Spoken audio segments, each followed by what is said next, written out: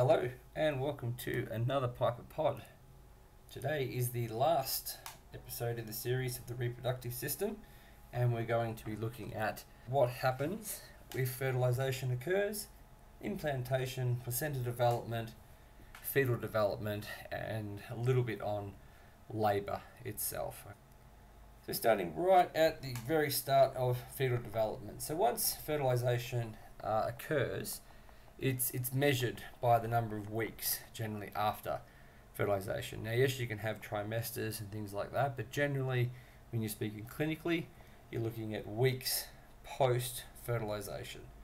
Now, the average um, pregnancy lasts about 40 weeks, okay, or 280 days of your last menstrual um, period. So, whilst there's no true way to tell when fertilization occurs, it's generally 14 days, okay, can be anywhere between 10 and 14 days, but we go off 14 days after last menstrual period. Okay, so when you when you start, 14 days after that was when fertilization can occur, generally speaking. So it doesn't really matter. That's what we go off in order to categorize the number of weeks that a baby is being old in the uterus. And from there, we have obviously measurements that we can do with ultrasound that gives us a better idea, but it's still a massive educated guesstimation of time realistically. Now, there's three stages of fetal development. So, there's obviously the pre embryonic stage, which is fertilization, which happens right through until about week two. Once we get to week two, uh, we start referring to the baby as an embryo um, itself. Okay, and then once we get to week nine, the embryo turns into a fetus. Now, I'm not going to get into the debate of when a baby is a baby because it's not the focus of this presentation, and you can be free to believe whatever it is you want. I'm just going to talk about the science behind it. Okay, so let's start right at the start with fertilization. So, we've already talked about ovulation. Once ovulation occurs, we have an oocyte or an ovum that is partway through uh, its second meiosis phase. Okay, so metaphase of meiosis 2 is where it's at. Now, fertilization represents day zero of the entire process. And when that occurs, obviously meiosis 2 is completed and we have a viable zygote after that. Now, fertilization occurs um, in the fallopian tubes. Okay, that's the most common place for fertilization to occur, and then once it occurs, it travels along until it makes it all the way to the uterus. But that takes about three to five days to get to the uterus. Now, as it's traveling along, the actual zygote goes through a series of cellular divisions of mitosis where it actually starts to compact itself. Once it gets up to uh, 16 cells, it becomes a compacted morula. So it's no longer in its 8 cell, 4 cell stage, it now becomes a compacted morula, and that's what it's called. From there, if you look at it under a microscope, it looks a little bit like a raspberry. Okay, it's kind of cute. Then it changes into what's known as an early blastocyte. Now, what occurs there is the inner cellular mass moves to one side of the cell and becomes highly compacted and we get a large cyst in the actual um, cell itself. Now the cyst is filled with a substance known as tropocytes. Okay, and it's that tropocytes that essentially is going to help form the placenta. Once we get to about day eight or nine, the blastocyst is essentially starting to form a little bit more, and then we start implantation, which is where the inner cellular mass is against the uterine wall and the actual uh, tropocyst around the outside, the capsule, uh, starts the production of the placenta. Now, the way that it does that is pretty unique. So the tripo tropocyst will start releasing enzymes into the uterine wall. Now, this en enzyme will do a number of things. It will degrade the uterine wall and use that particular uh, material in order to build itself. So it will build capsules. It will start the formation of uh, its own blood supply and its own specialized substances like your chorionic villus and your outer chorion cellular membrane that encapsulates the embryo itself. Now, the formation of the embryo occurs with those two different specialized structures that we talked about the cellular mass and the tripartite. That will become the embryonic sac, also the, the amniotic sac, the fetus itself in the middle, and the yolk sac as well. Now, the yolk sac is what will provide the fetus with the initial supply of red blood cells, the nutrients for initial cellular division until it can establish blood supply with the rest of the placenta. So that's what the yolk sac is for. So once we get to about day 16, the actual blastocyst is completely encapsulated within the uterus itself. And from there, we have very specialized uh, baby and mum structures that help form the placenta from there. So when we look at placenta development, what actually happens is those chorionic villus actually extend out, releasing enzymes, stealing a little bit of mum's material, combining next to mum's circulation, and will form the outer placental wall the amniotic cavity and the mum baby blood barrier itself. So, as I'm sure you are all aware, mum's and bub's blood do not mix. They essentially run along each other around the placenta, and that is actually how the baby will get its nutrients once the yolk sac is depleted.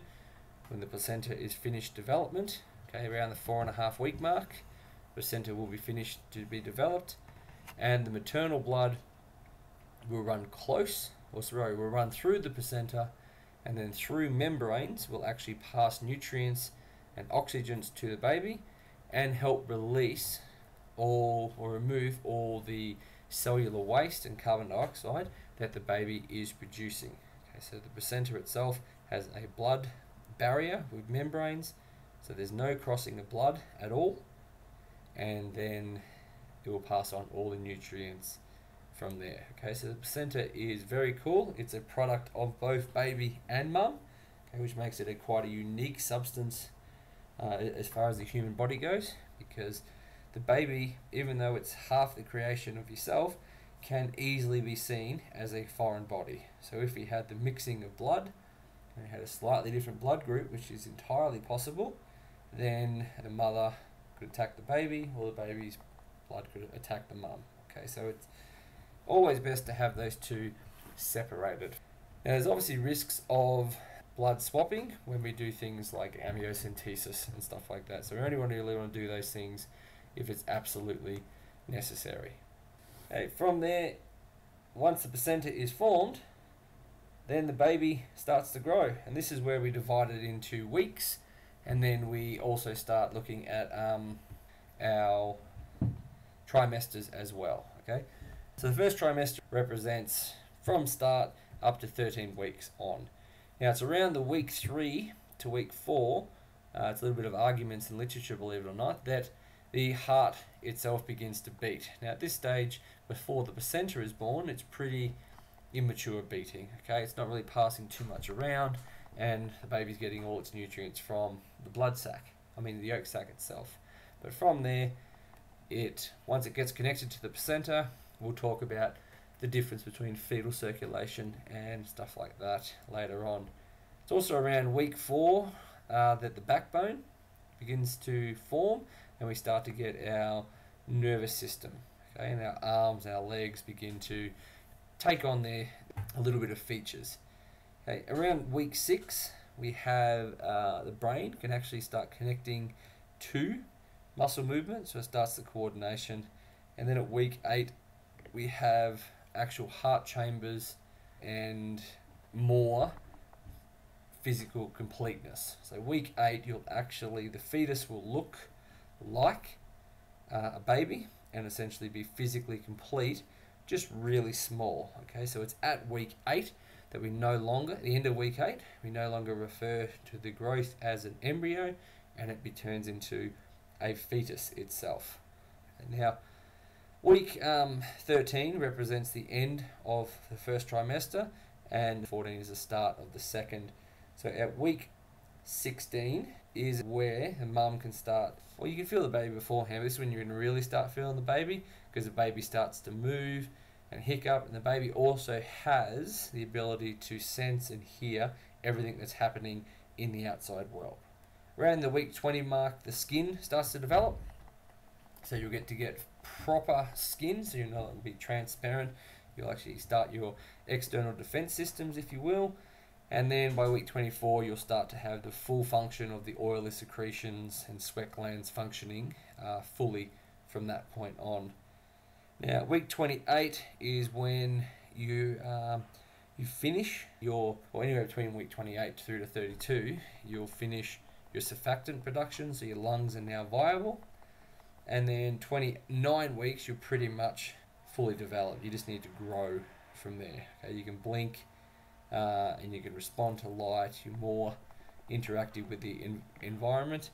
But it's not until about week 32 that you'll actually start to produce your own antibodies. So antibody will produce, and they think that this has got to do with the fact that you will start breathing in amniotic fluid. So the exposure to material is much greater from there. But from that point on, you'll have a little bit more development with the lungs and things like that. But from there, you just chunk up. Okay, you get fat and you grow immensely.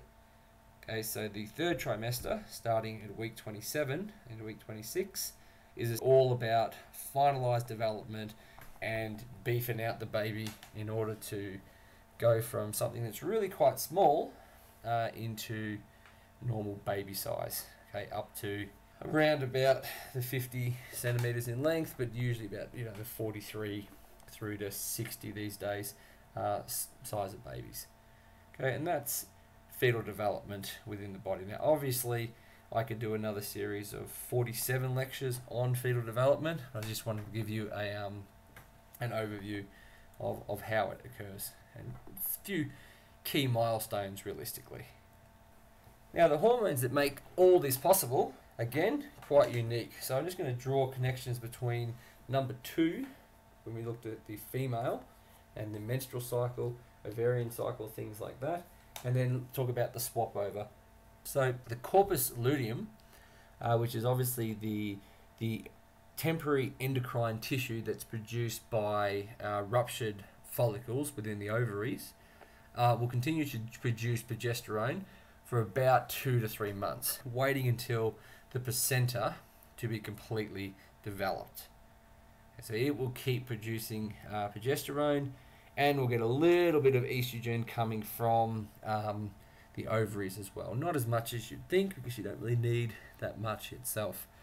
Now, from there, once the placenta is formed, then it starts to produce its own progesterone, its own estrogen, and it also produces your human chorionic gonadotropin. So beta HCG will get produced by the placenta. Now this is only produced in females during pregnancy. Now what it does, even though it starts to be producing as soon as the placenta starts to form, so really early, we start producing this, is beta HCG actually enhances or takes over the luteinizing hormone in maintaining the corpus luteum until the placenta can be finished.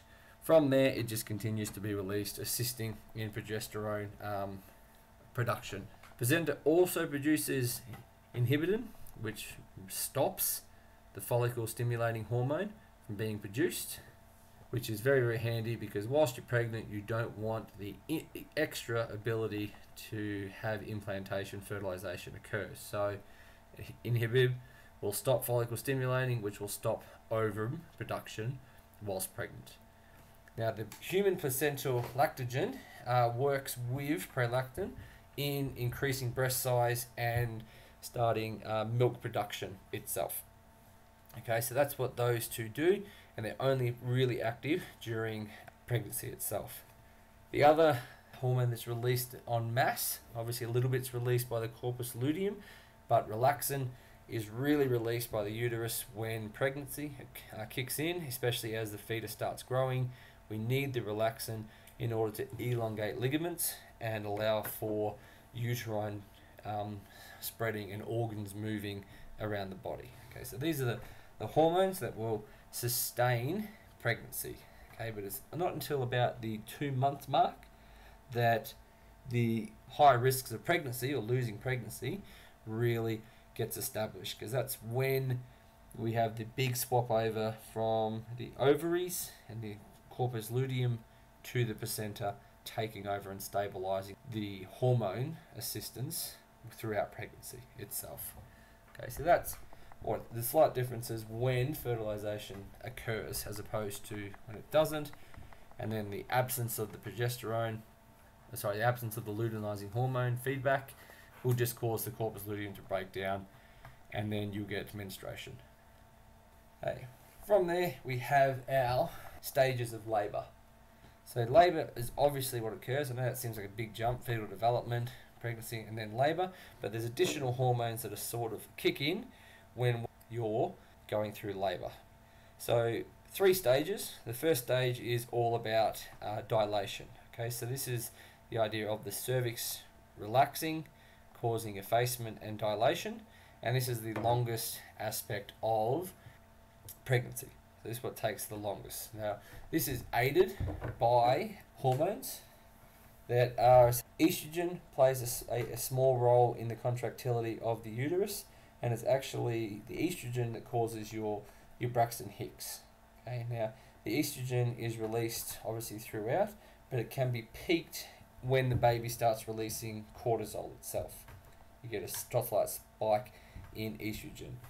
Now, on top of that, the estrogen causes a contraction, but it also increases the amount of oxytocin receptor sites at the head of the cervix itself.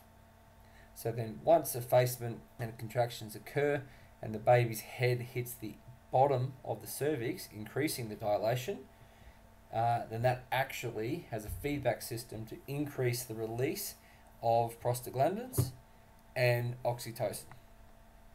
Now when those two chemicals combine, we have an increase in contraction and an increase in obviously dilation. So blood supply allowing the cervix to dilate further and thin out and increase uterine contraction with the help of oxytocin pushing the baby down.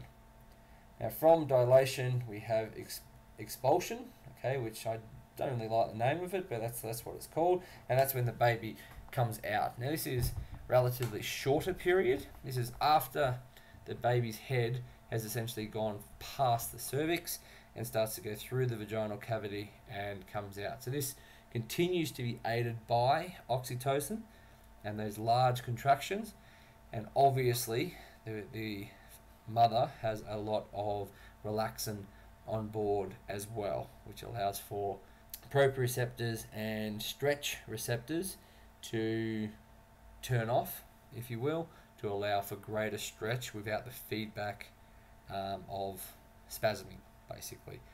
Uh, allow the baby to come out. Once the baby is fully out, then we move to the third stage, which is delivery of the placenta. Now, this will be assisted again by oxytocin. Okay, so oxytocin will still be within the system, causing uterus, uterus to contract to help release the placenta. Now this can be aided by early nursing of a baby. So early nursing obviously will cause the suck reflex of the baby, which is a good thing to do nice and early, but then also increase um, nipple stimulation, which increases the amount of oxytocin that is released to aid in the placenta being released. Now, a lot of midwives or people delivering baby will slightly pull on the umbilical cord in order to um, assist it to come out but obviously you need to be very very careful how much pressure you put on it because all lobes of the placenta must come out otherwise you increase the likelihood of uterine bleeds and then also um, uterine infections post um, delivery as well Once the placenta has been delivered, it's always advisable uh, to check over the placenta for its completeness and also looking for your embryonic sacs, placental sacs intact, things like that. Okay, so that's the stages of labour and mostly the hormones and everything that assist within it. We're not going to go through emergency childbirth or, or, or assistance in childbirth because not part of this particular presentation. Now, once the baby comes into the atmosphere, a lot of changes need to occur quite rapidly. Okay, so obviously inside the uh, uterus or in, inside the, the amniotic fluid, uh, it has no need to use the baby's lungs. So all the oxygen comes from the placenta barrier. So the placenta pick up new oxygen, get rid of carbon dioxide and waste, take nutrients in, and then the blood itself is actually delivered directly from the placenta through the umbilical cord into the umbilicus and then straight in to the actual inferior vena cava. Now, whilst the liver is underdeveloped, therefore can't be utilized for any real function, then this baby has a structure in place called the ductus venosus, which allows for the blood supply to bypass the liver and go straight to the heart from there. Okay, so that's obviously a pretty useful substance. Otherwise, blood will be floating around an immature liver uh, for no purpose, where it needs to get to the rest of the body itself. So the oxygenated blood will go straight from the placenta into the inferior vena cava and then get to the heart. Once it gets to the heart, obviously, the baby's not using lungs. It's not getting oxygen from the lungs, so it doesn't really need to utilize anything in the lungs until born, basically. So we have two other shunts that are available during fetal development uh, that aid in this. So the first one is your foramen ovale, which is a hole in between the left and right atrium itself. So as blood comes in, it will actually mix straight through to the left atrium into the left ventricle to be pumped around the body. Okay, now obviously a little bit is going to go towards the lung, which is why we have another shunt called the ductus arteriosus, which will allow us bypass the lungs and put the blood directly into the descending aorta to travel around the body. So that, that's pretty unique, obviously, during fetal development of blood supply from there. So, as you can imagine, there's a few things that are quite unique about baby's blood that um, you will not find in adults or formed babies as they sort of progress the first couple of weeks. So first of all, the hemoglobin of a baby or a fetus, sorry, has much higher affinity to oxygen than an adult's hemoglobin. Now that allows any oxygen that is bound to mum's hemoglobin to move over into baby's hemoglobin. Okay, so it's far more affinity, a lot more affinity, which just means that it has a much lower partial pressure than mum's. So it'll actually take a good percentage of mum's circulating blood onto the fetal blood. On top of that, fetal hematocrit is also higher than baby's hematocrit. Okay, so usually hematocrit sits around 45%, whereas fetus hematocrit sit around 60. Now this is the reason when babies are born that they actually the first couple of days when they find out they don't need that high hematocrit, they'll start to break down red blood cells, and that will obviously cause a byproduct of bilirubin. And that is why a lot of babies in the first couple of days after they're born will actually appear jaundice. Okay, now it's quite or relatively common, not 100%, uh, to have a little bit of phototherapy when born as well in order to help break down and release that bilirubin from the body. Okay, so that's what causes baby to have that slight yellow tinge is the high hematocrit uh, that's found in the fetus. Okay, so once the baby is born, these shunts, okay, and these extra vessels from the umbilicus or the ductus venosus, the ductus arteriosus, they're no longer needed. So what they actually become later on is they become ligaments. Okay, they become ligaments off vessels that help just stabilize vessels themselves. So they turn off and they essentially become ligaments themselves, which is pretty cool. It's no longer needed, and then the circulation will work exactly the same as ours. Now it takes about a year for the foramen o- ovari to um, fully form over, so it's quite common for babies to still have a hole in between their septum itself until it can fully grow over after about a year of, of age. Okay, so that's a that's an example of, of rapid adaptation that needs to occur from embryotic, uh, sorry, from fetal in the amniotic sac to birth. Okay, because the turning off of those particular vessels from the placenta pretty much happen within the first um, day after the baby's born. Okay, so that ends the reproductive system three part series, finally finishing on fetal development. So, hope you got uh, at least something out of fetal development. As I've mentioned throughout, there is a lot that can be learnt within fetal development, and this is an overview. Uh, and if you want to know more, then you can pretty much make an entire career out of it itself. Okay, so until next time, take care.